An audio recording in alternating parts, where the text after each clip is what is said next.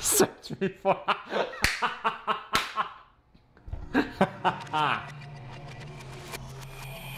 Hey guys, how's it going? It's Neocranium here, and today I'm going to teach you how to get your FBI agent to do an anal cavity search on you.